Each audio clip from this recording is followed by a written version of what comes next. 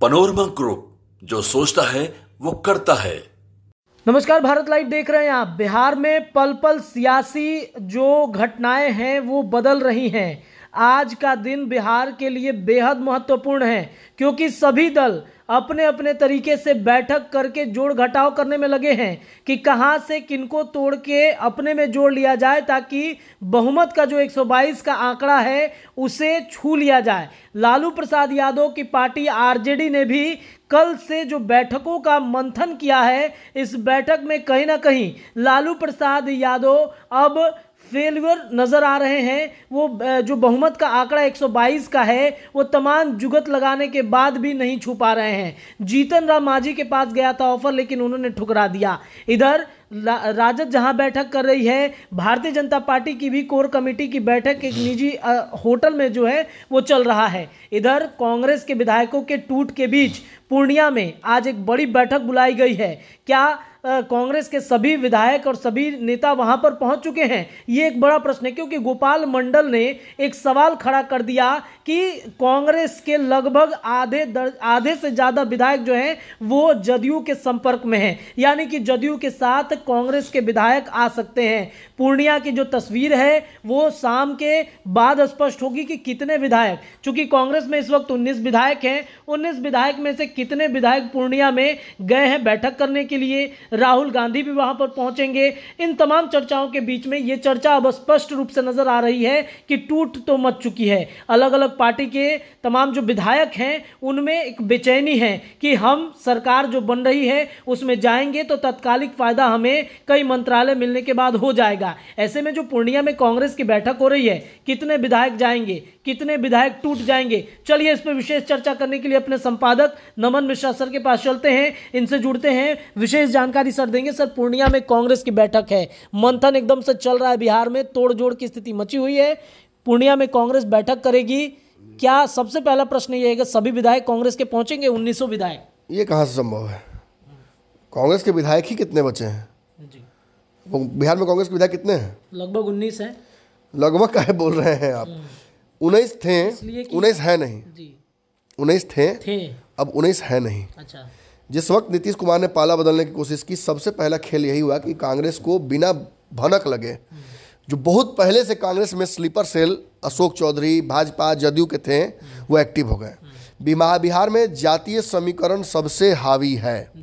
इससे हावी कुछ भी नहीं है। राम की लहर को नीतीश कुमार इसी जातीय गणना से काटने की कोशिश कर रहे थे। बहुत हद तक मुझे लगा कि नीतीश सफल भी हो जाते लेकिन जो सुनामी राम नाम की आ रही है उसके सामने जिस तरीके से राजद बिना तैयारी बिना बंदोबस्ती के उतर रहा है इंडिया गठबंधन वो नीतीश को नागवारा गुजरा। इसीलिए नीतीश पलट रहे हैं। हम्म। नीतीश ने हथियार दे दिया था लीजिए इस हथियार को चलाइएगा जब उधर से आएगा राम नाम का सुनामी तो ये हथियार चला दीजिएगा। अब ये हथियार चलाने वाला भी कोई हो तब तो। नीतीश को आप ये मौका दे नहीं रहे हैं और किसी के हाथ में दे नहीं रहे हैं तो करे क्या? राहुल गांधी जहाँ जा रहे हैं पनौती वाला हाल तो कर दिए हैं। हम्म। बोलना नहीं चाहिए पत्रकारों को। लेकिन जहाँ राहुल गांधी जा रहे हैं वहाँ विवाद हो जा रहा है। कांग्रेस की रैली गई बंगाल में वहाँ गठबंधन टूट गया। केजरीवाल से बातचीत शुरू हुई वो भी टूट गया। अखिलेश यादव बोल ही रहे हैं कि कांग्रेस ने काम बिगाड़ दिया। और केसी त्यागी तो बोल दिया मैंने बोलना नहीं चाहते थे लेकिन वो तो तय था उनके बयान से कि वो बाहर हो चुके हैं। बस वो इज़्ज़त बचाने के लिए अभी है और नेगोशिएशन भी चल रहा है। पावर नेगोशिएशन चल रहा है दोनों तरफ़ से। भाजपा से जो चाहते हैं वो मिल जाएगा तब ना भाजपा तब जाएँगे। वरना राजद तो सरकार का समर्थन आप सुने ना अभी बयान। लालू चाहते लालू यादव चाहते हैं कि सारे विधायक सारे सांसद और सारे जो आ, मंत्री हैं वो इस्तीफा दे दे। और सरकार से समर्थन ले ले राजद वापस। लेकिन जिस वक्त आप ये सुन रहे हैं, उस वक्त भी तेजस्वी यादव अड़े हुए हैं कि समर्थन वापस नहीं लेना है। नीतीश चाचा से इतना प्रेम इतना प्रेम, अपने पिता की बात तक नहीं सुन रहे हैं। ये सत्ता का मोह है, जेल जाने का डर है सत्ता विहीन होने का डर है, या क्या है मुझे समझ में नहीं आ रहा। एक युवा जो बिहार के एग्जिट पोल्स में 2020 का भावी मुख्यमंत्री था, जो 2025 में मुख्यमंत्री बन जाता वो उप मुख्यमंत्री बनकर इतना संतुष्ट है इतनी संतुष्टि भगवान अगर पूरे दुनिया विश्व को दे दे तो कोई लड़ाई कोई झगड़ा कोई वॉर नहीं होगा। जनता के ऊपर फैसला छोड़ने की जनता फैसला करे। बिल्कुल। और आप देखिए जिस वक्त आप ये सब देख रहे हैं केवल छह से सात विधायक कांग्रेस के पहुँचे हैं पूर्णिया में जो चर्चा की जा रही थी कि राहुल गांधी विशेष विमान से पहुंचकर उस बैठक को में सम्मिलित हो सकते हैं। उन्होंने सुबह ही अपना प्लान कैंसिल कर दिया? उन्हें एहसास हो गया था कि ये ये जो विधायक हैं, कांग्रेस के ये संपर्क में नहीं आ रहे हैं। पूरी लिस्ट हमारे पास है। देखिए, उन्नीस बीस हो सकता है, ये भी हो सकता है कि कोई बेचारा टूटने वाला ना हो, उसका नाम हम ले लें टूटने वालों में।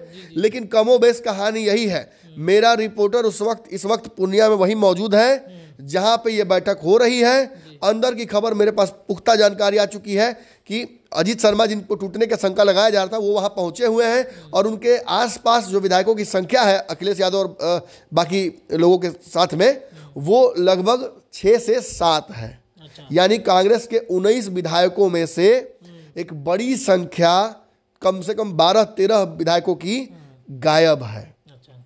और ये विधायक जो गायब हैं वो पाला बदल लेंगे ये तय है। कई विधायक तो आज सुबह तक पटना में थे। तो उनको पहुँच पाना पूर्णिया आपको लगता है आसान है? पूर्णिया में जाता आता रहा हूँ। छः से सात घंटा लगता है। सात घंटा बहुत अच्छा रहा मौसम तो लग जाता है। आपको सात घंटे में पहुँचते पहुँचते उनका मीटिंग खत्म हो जाएगा। दिन अगला आ जाएगा। नीतीश कुमार मुख्यमंत्री की कुर्सी फिर से संभाल लेंगे। तब आ जाइएगा मीटिंग करने? निश्चित तौर पर यही नहीं। लालू यादव के पास एक हथियार जो था कि कांग्रेस के माध्यम से वो कोई खेल कर सकते हैं, नीतीश के मुख्यमंत्री बनने में विघ्न पैदा कर सकते हैं, वो भी समाप्त हो गई। अगर जदयू के विधायकों को तोड़ने में सफल भी हो जाते हैं, लालू यादव तो कहानी खत्म। नीतीश आज इस्तीफा देंगे और कल वो फिर से बिहार के मुख्यमंत्री बनेंगे। सब कुछ भाजपा के हाथ में छोड़ दिया गया था और भाजपा ही, मैंने कल कहा था पंचनामा में, भाजपा के हाथ में छोड़ देने का मतलब अब नीतीश को चिंता नहीं है, नीतीश तो बक्सर चले गए थे। कार्यक्रम के हिसाब से। कि नीतीश बक्सर कार्यक्रम कैंसिल कर सकते थे? जी जी जी। लेकिन वहाँ बैठ के अग्निशमन का देख रहे हैं मशीन कि इससे क्या होता है? तो आग बुझता है तो भेज दीजिए राबड़ी जी के घर पर। सर अग्निशमन वाला यहाँ था बक्सर में कुछ और कार्यक्रम अच्छा जो भी हो यहाँ भी था मतलब कहने मतलब यही ना था कि अगर आग लग लगता है तो क्या करते हैं? तो इसको भेजते हैं सर मशीन को। हम्म। तो भेज दीजिए समय आग लगा हुआ है राजद राजद के खेमा में। वहीं आग बुझाने का काम आएगा। देखिए जोक सपाट। निश्चित तौर पर नीतीश कुमार ने बहुत बड़ा पावर मूव किया है और इसकी वजह से सभी का दिमाग काम करना बंद कर दिया है। और जो कांग्रेस के विधायकों के नाम हम ले रहे हैं हम बिना देरी के वो लिस्ट पूरी पढ़ देते हैं। देखिए जो विधायकों की पूरी लिस्ट है उसमें नाम मैं पढ़ रहा हूँ पहले। अबीरुद्दुर रहमान अररिया से। ये पहुँच गए हैं मीटिंग में। हजरुल हुसैन नजरुल हुसैन या इजरुल हुसैन जो है किशनगंज से ये भी पहुँचे हैं। मोहम्मद अफाक आलम पहुँचे हैं। शकील अहमद कदवा से पहुँचे हैं। जो नहीं पहुँच पाए हैं उनकी लिस्ट में कन्फ्यूज़न हो रहा है। अभी तक ये कंफर्म नहीं हो पाया कि मनोहर प्रसाद पहुँचे हैं कि नहीं। लेकिन ये कहा जा रहा है कि ये इस तरफ़ ही रहेंगे। वहीं अब लिस्ट में उन लोगों का भी नाम हम पढ़ेंगे। अजय कुमार सिंह जो जमालपुर से हैं ये पहुँच गए ये पटना में है। अच्छा, ये इनकम्युनिकेट हो। ये ये उस मीटिंग में नहीं पहुँचे हैं। हम्म, हम्म। सिद्धार्थ सौरभ ये विक्रम के विधायक हैं हम्म। ये नहीं पहुँचे हैं। मुन्ना तिवारी बक्सर वाले ये नहीं पहुँचे हैं। संतोष कुमार मिश्रा करगर वाले करगर वाले ये नहीं पहुँचे हैं। हम्म। आनंद शंकर औरंगाबाद ये नहीं पहुँचे हैं। नीति कुमारी हंसुआ हिसुआ ये नहीं पहुँची हैं। विश्वनाथ राम राजपुर बक्सर में जो है ये भी बताया था कि मुन्ना तिवारी के साथ है। ये भी नहीं पहुँचे हैं। हम्म। विजन चौधरी मुजफ्फरपुर ये नहीं पहुँचे हैं। हम्म। विजय शंकर दुबे महाराजगंज ये नहीं पहुँचे हैं। प्रतिमा दास राजा पाकर ये नहीं पहुँची हैं। अजीत शर्मा उस मीटिंग में मौजूद हैं लेकिन कहा जा रहा है कि अजीत शर्मा इसलिए गए हैं कि तीन चार विधायकों की जो कमी हो रही है उसको वहीं से लेके आएँगे। चलिए देखिए हम किसी पर आरोप नहीं लगा रहे हैं। हो सकता है अजीत शर्मा ईमानदारी से रहे। उनको उनकी तो पूर्व में भी नीतीश कुमार से कई बार मुलाकातें हुई हैं और कोई अशोक चौधरी से पटने वाला उनका है नहीं। बहुत पहले से अशोक चौधरी से उनका छत्तीस का आंकड़ा रहा है। तो हो सकता है कि पावर मूव के तौर पर वो वहाँ पहुँचे हो। क्या आवश्यकता पड़ेगी तो पाँच विधायक तो बुलाइएगा हमको नीतीश जी। हम अशोक चौधरी कल आप थोड़ी आएँगे। क्या भी हो सकता है कि वो डट के खड़े हो कांग्रेस के साथ कि जिस कांग्रेस ने इज़्ज़त दिया सम्मान दिया उसके उसके में टूट नहीं होने देंगे। लेकिन टूट तो हो गई है।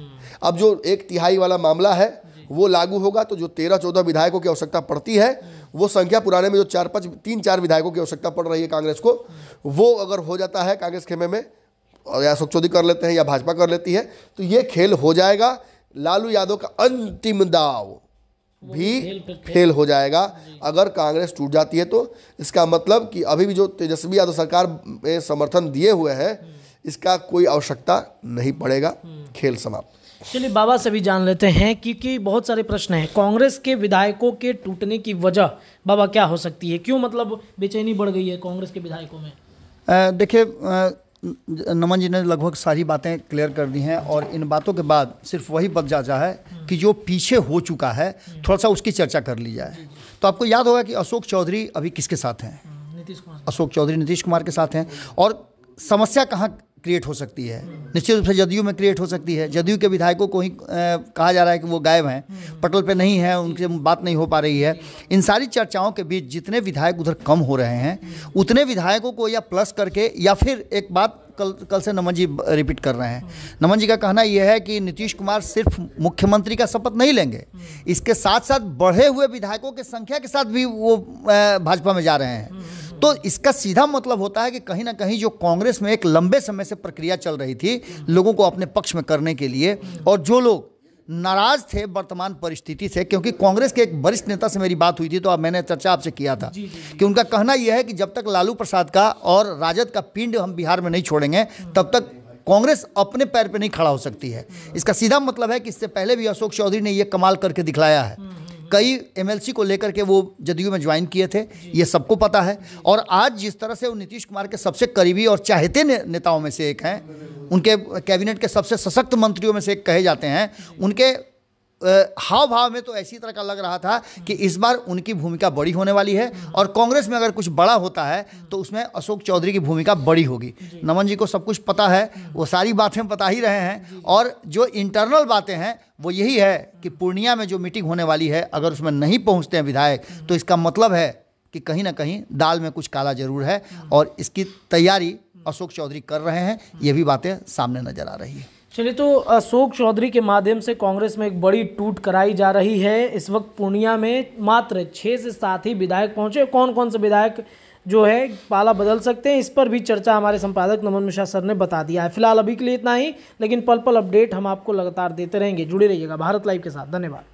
अगर ये वीडियो पसंद आई और वह बिहार के राजनीति और बिहारियत से सरोकार रखेनी तो सब्सक्राइब बटन दबा के चैनल के सब्सक्राइब कर ली। ओजे घंटी बा ओकरा बटन दबा देला से कुल सटीक और मारक खबर रुआ मुफ़्त में मिल जाए अगर रुआ पत्रकारिता के हमनी के नया प्रयोग में सहयोग कर चाहतानी तो ज्वाइन बटन दबा दी।